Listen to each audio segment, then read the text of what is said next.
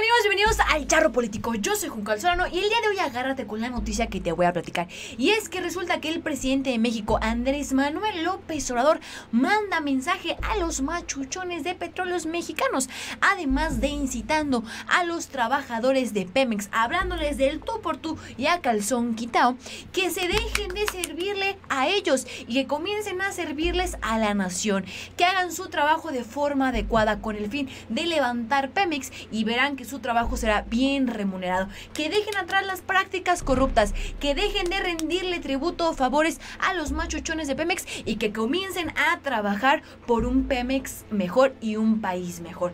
¿Quieres saber qué fue lo que le respondieron y exactamente a quién le mandó este mensaje el presidente de México luego de enterarse de quién sabe cuántas cosas aquí te voy a platicar? Ah, pues quédate conmigo porque lo tienes que saber.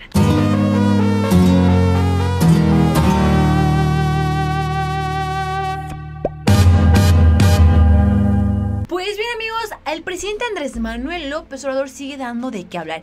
Y es que el día de hoy te voy a presentar un video que sorprendió a todos los usuarios en redes sociales. Luego de ver cómo el presidente de México andaba hablando del tú por tú él, con los trabajadores de Pemex, donde lanzó un mensaje que inspiró, que conmovió con el objetivo de poner un hasta aquí a aquellos trabajadores que no han decidido alinearse y que siguen o le siguen rindiendo eh, tributo, respeto o trabajo a aquellos machuchones de Pemex que tanto daño les han causado. Y no vamos yéndonos lejos, un Carlos Romero de Shams, trabajadores que no han entendido que ese viejo régimen ya tiene que acabar y tienen que ponerse los pantalones y la bandera de este nuevo proyecto con el fin de levantar Pemex. Pero vamos a ver el video que verdaderamente López Obrador fue catalogado como uno, un presidente que marca un precedente porque nunca nadie se había metido con los trabajadores de Pemex a hablar así como van con el objetivo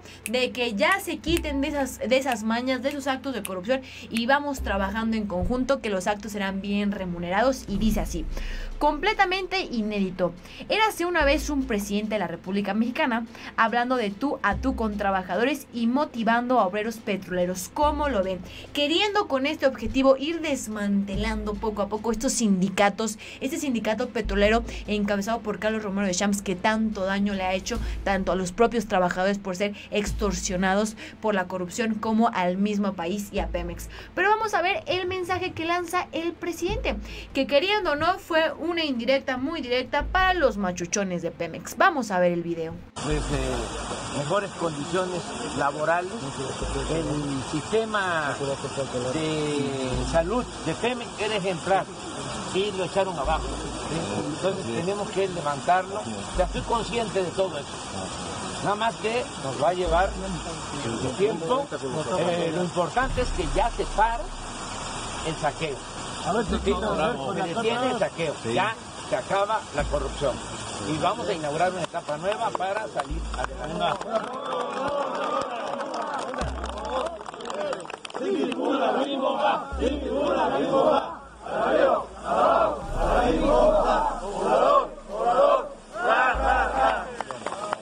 Posiblemente tú te debes de estar preguntando, pero ¿por qué el día de hoy López Obrador decidió pues acudir eh, a las instalaciones con trabajadores de Pemex? ¿Qué fue lo que lo motivó o qué hay detrás de todo esto? Pues bueno, esto después de la siguiente noticia que está circulando en redes sociales y vamos a verla a continuación y dice así. Enrique Peña Nieto se vendió, digo, vendió la planta de nitrógeno a empresa francesa. Ahora Pemex paga un millón de dólares al mes y no se usa. Y vamos aquí a darle clic a la nota y dice así. Dice, ya leímos el título y fue publicada justamente el día de hoy, 19 de marzo, y dice así. El presidente de México, Andrés Manuel López Obrador, en conferencia de prensa habló de las condiciones en las que se encuentran petróleos mexicanos. Después de su visita a la refinería de Pemex en Tula Hidalgo, el mandatario anunció que plantea eh, una planta de hidrógeno, perdón, fue vendida por el gobierno de Enrique Peña Nieto. O sea, aquí le dio un llegue también a Enrique Peña Nieto de que ni crees que se me ha olvidado a una empresa francesa por 60 millones de dólares y con el compromiso de comprarle lo producido. Y es que esto, de esto siempre se encargaron sexenios anteriores. Venden cosas que son de la nación para luego, no entiendo cuál es su lógica, comprárselas a esos países y que nos salga, el triple de caro cuando tuvimos la oportunidad de nosotros mismos producirlo. Pero vamos a seguir leyendo y dice así, lo irónico del asunto es que Pemex no usa, eh, no usa en esa refinería, pero se está pagando un millón de dólares al mes. Y dice, ayer en Tula vi cómo hicieron en esa refinería y así deben de estar en otras partes. Vendieron una planta que es parte de todo el proceso de refinación a una empresa francesa en 60 millones de dólares en el sexenio pasado y con el compromiso de eh, comprarles el nitrógeno. Y claro, vendérnoslos al doble, al triple cuando nosotros previo ya teníamos la maquinaria para hacerlo. Pero estos eran los negocios de Enrique Peña Nieto. Por si no lo sabían, se los presento. Como no se usa el nitrógeno porque no hay habilitada una planta para ese propósito, se está pagando creo un millón de dólares al mes sin usar la planta. Añadió, fíjense nada más, dinero tirado a la basura. López Obrador reconoce el esfuerzo de los trabajadores de Pemex. El presidente de México recorrió ayer la refinería de Tula Hidalgo y aseguró que ahí los trabajadores hacen milagros por las condiciones en las que, en las que dejaron pues este lugar, pues prácticamente las instalaciones se convirtieron en chatarra y por ello no operan a toda su capacidad. Es heroico lo que hacen los trabajadores, recalco. Y que bueno, creo que siempre es muy bueno. Eh, yo sé que si bien es cierto, a veces los, los reflectores, podría decirlo, acaparan estos grandes peces que han acaparado la corrupción durante años y no volteamos a ver que hay trabajadores que ahí siguen dando todo por su trabajo y que han hecho que Pemex no muera. Y me da gusto que el presidente lo reconozca. Y para aquellos que no se han querido poner la bandera, espero que con estas frases del presidente, con esta energía que traemos todos de generar un cambio, realmente ahora sí se pongan esta bandera de un cambio, de un nuevo proyecto con el fin de levantar, porque recuerden, y yo siempre lo he dicho y con esta lógica me manejo, si a Pemex le va bien, por supuesto que a las familias, a las personas que trabajan en Pemex, les va a, les va a comenzar a ir mejor porque esta empresa cada vez va a ir siendo más redituable, va a ir generando más y estoy más que segura que, ¿por qué no? Los salarios, las condiciones de trabajo van a tener que ir mejorando, pero este es un esfuerzo que se tiene que llevar entre todos.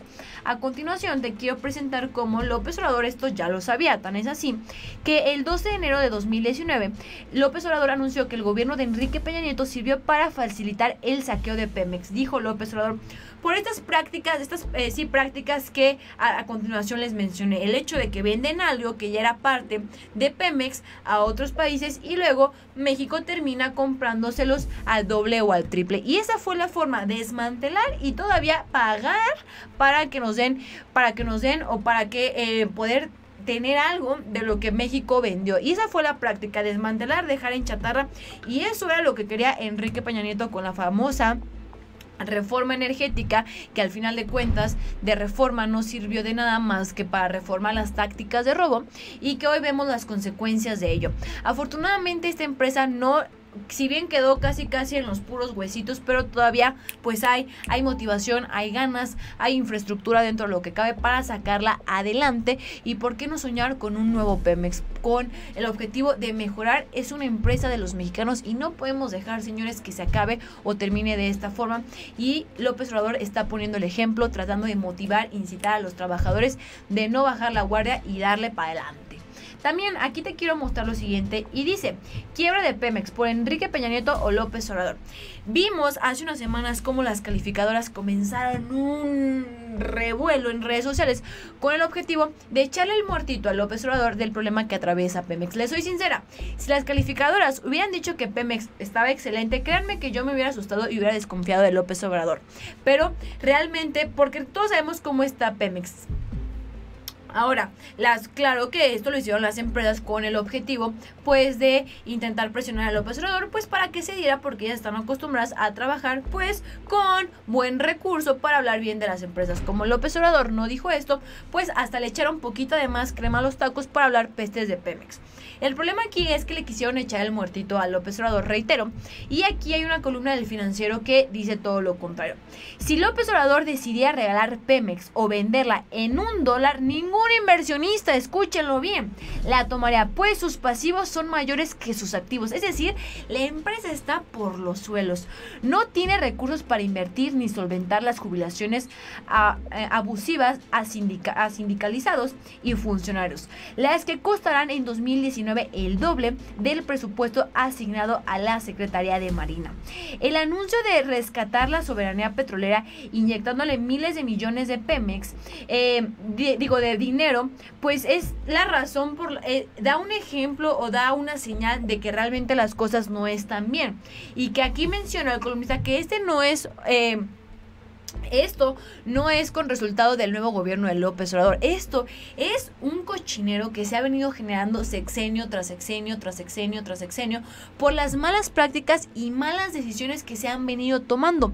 Donde esta empresa, lejos de generar una visión de crecimiento, de empoderamiento, de posicionar a Pemex como una de las empresas más importantes hablando en petróleo, realmente lo que se hizo por los presidentes anteriores fue venderla, sacarle jugo, sacarle provecho, ganar yo, después yo y al final yo. Y ahí que los mexicanos se las arreglen como puedan. Hoy vemos el caso de que la gasolina es un tema que no se puede controlar. Vemos como pues uno de los proyectos principales del presidente es eh, eh, las refinerías, empezar a generar para ya no estar comprando a precios absurdos el petróleo, siendo México un país tan rico en petróleo, ¿cómo es posible que compre tan caro? ¿Y cómo es posible que la gasolina aquí no la vendan más cara que en países de primer mundo. Entonces, son temas que es imposible y que no nos vean la cara, que se las quieran echar a López Obrador, que han sido eh, pues resultados de malas decisiones. Sin embargo, hoy López Obrador tiene la posibilidad de agarrar el, torno, el toro por los cuernos, perdón, y comenzar a generar un precedente. Porque vamos siendo sinceros, fue un cochinero que no se limpia de la noche a la mañana, pero sí es importante ir comenzando poniendo ahí nuestro granito de arena todos los mexicanos. Y aquí hay un análisis de las seis, eh, mm, los seis errores o acciones que terminaron por destrozar Pemex y que hoy le están costando bastante a López Obrador. El tema de Oderbrecht, el tema del huachicol, también lo mencionan, el tema de, de la corrupción, que es lo que ha venido pues poco a poco enterrando a Pemex. Aquí tenemos el huachicol que fue algo desmedido, robaron y robaron y luego salió Enrique Peña Nieto a decir muy descaradamente, la gallina de los huevos de oro se acabó. Sí, se acabó eh, el hecho de estar extrayendo y extrayendo dinero de Pemex. Es lamentable, pero vemos como si está dentro de la agenda del presidente acabar con esta situación y el mensaje que manda a los trabajadores y que manda a los machuchones con el objetivo de generar confianza en los, con los trabajadores con los eh, que están dentro del sindicato de Pemex para ir generando confianza, ir generando un equipo de trabajo y poco a poco estas figuras que tanto daño de políticos han hecho daño a Pemex y las deslindando y quitándoles poder, porque si no hay gente a su mando, realmente se acaba el poder. Amigos, esto fue todo por el día de hoy. Yo soy Juan Calzano y nos vemos hasta la próxima.